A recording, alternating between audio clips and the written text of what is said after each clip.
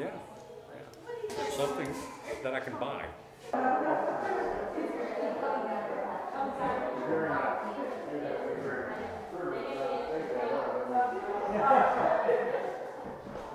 Just means a better future for them. I heard kids do better in school when they have their own home. They're not moving around constantly. So this is theirs.